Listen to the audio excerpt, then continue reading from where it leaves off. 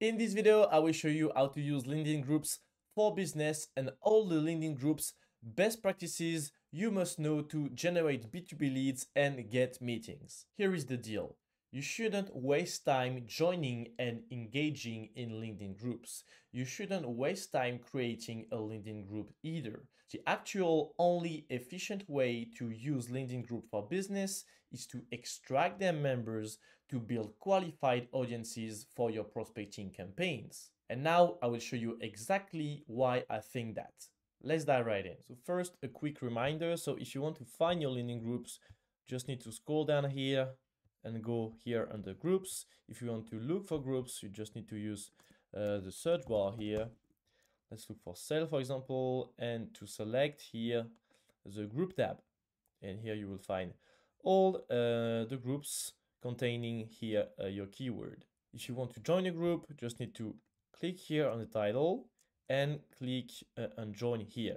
And if the admin don't accept your request, you can still here uh, message them and if, for example, after one week you don't get a reply, you can send them a message or connect to tell them to accept your requests. But the thing is, guys, you shouldn't join LinkedIn groups because they are useless, full of spammers, and non-active because the UX is terrible. Let me show you some examples. So 99% of LinkedIn groups look like this. So you got tons of members, but no one is active and you get only posts from spammers selling their services with absolutely no interaction here. And here, even where there is interaction, here you could say, oh, 11 comments, and you look at the comments, there are only spammers in the comments. And I could do a 100 group like this, and they will all look the same with spammy posts like this. So from time to time, there is one or two comments, but compared to Facebook groups or Slack channels, the uh, interaction is really mediocre. So if I can save three months of your time right now, please don't join LinkedIn groups and don't have FOMO. You won't lose any business opportunities because you are not present on LinkedIn groups. And maybe now you are thinking like, oh, then I should create my own LinkedIn group and this LinkedIn group will be better than the others. The thing is, I never seen one company create a successful LinkedIn groups because the UX on LinkedIn groups is so terrible that nobody wants to interact on them. For example, here I find this group, MailChimp product community, and you can see that this group exactly the same. Some posts here, no interaction, self-promotion. From time to time, one comment. Here, self-promotion. Are you looking for an expert? etc. So you see that uh, this group from MailChimp is exactly uh, the same as the other ones. So if you want to create a community, a group for your users, for your clients, you should better use Facebook, Slack, or Circle rather than LinkedIn. If you want to create a small group on LinkedIn, it's way better to create a group LinkedIn conversation than a LinkedIn group because people are really active on LinkedIn DMs and at least your LinkedIn group conversation will be alive. You can do that with too much people, but if you have a small group, a small community, you can totally create a LinkedIn group conversation and that will work. The only relevant way to use LinkedIn groups is actually to use them to identify targets for your B2B prospecting campaigns. Because being part of a group is a signal of interest. You have seen that on the previous group I've shown you, there is no interaction, but there are a lot of members. It means that at the time these people joined the groups, they thought that these groups will contain the answers to their problems. So if you sell product or services, you can consider LinkedIn group members as a qualified audience for your prospecting campaigns. The cool thing about LinkedIn groups is that you can send messages to uh, their members without being connected to them. So here, if I click on uh, members show all. Here I can send direct messages to the group members without sending a connection request first. But you must know that if you send messages like this, they will land into uh, the message request inbox here and not the main inbox. So the notification will appear, but not in the main inbox. And the message will look like this. Your name via and then the name of the group. So to see your messages, your prospect needs to click here and here. So obviously the reply rate to these messages will be lower than classic LinkedIn messages. That is why instead of using this feature, I will recommend to send connection request or find the emails of your prospect so you are sure your messages are read by your prospect and they land into their main inbox, LinkedIn inboxes or email inboxes. And if you want to extract LinkedIn group members and find their emails, the best way to do that is to use Sales Navigator and Evaboot. Let me show you how it works. So basically, LinkedIn Sales Navigator is an advanced search engine for sales with much more features than the LinkedIn basic search. And in LinkedIn Sales Navigator, what you can do, if you expand the filter here, you have a group filter. And here you can write a keyword, select a group, and then you will have all the members of the group here appearing on the right.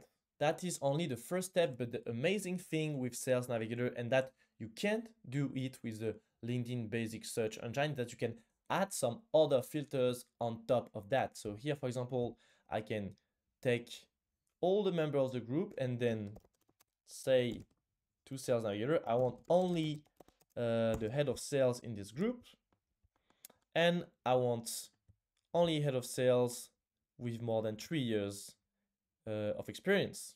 And you can see now I had 300,000 results at the beginning and now I get less than 1,000. So my search is much more targeted and much more precise. So basically here I'm targeting head of sales with experience looking for best practices because they are member of this group sales best practices. And there is tons of filters you can use on Sales Navigator. For example, here I could target people uh, only in Europe, or I could even select a city like Paris, for example. The second step now is to extract these people into a CSV file and get their emails. And for that, you can use the Evaboot Chrome extension. I will leave the link in the description. Once you have downloaded the Evaboot Chrome extension, you get a new button on the top, extract with Evaboot. Just need to click on it here and it will open the uh, Evaboot uh, platform.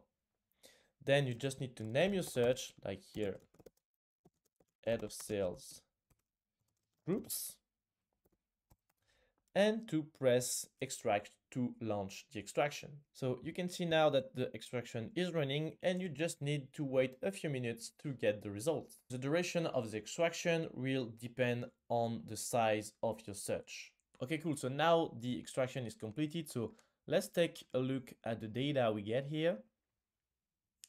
So we get uh, first name, last name, position, company name, company website, company domain, location, the LinkedIn URL, the industry, specialties of the company, um, the number of employee um, in the company, the number of connection, a ton of uh, LinkedIn data you can use for your targeting and your prospecting. Basically, Evaboot extract all the data present on Sales Navigator, on the profiles and on the company pages. Now, if we go back to the Evaboot platform, we can find the professional emails of our prospect in just one click by clicking here on Find Emails and click here on Enrich All Leads. And then same thing, we just need to wait a few minutes and the emails will be added directly in the file and also will be verified by the Evaboot uh, verifying algorithm. Okay, perfect. So now you can see that the email enrichment is done. And if I re-download the file, we will see that the professional emails of my prospect have been added here. So in column E and F. So you get the email, and then on the next column, you get the validity of the email because Evaboot also verify all the emails uh, we found. If the email is valid, it means that you are sure that the email exists. And if there is an unknown, it means that uh, the email can be verified because the email server of the company of your prospect don't let email verification algorithm verify emails. I won't talk too much about that here. If you want to know more about unknown email, you can write email catch-all on Google. So yep, here in two clicks, you have a file that is ready to be used for a prospecting campaign.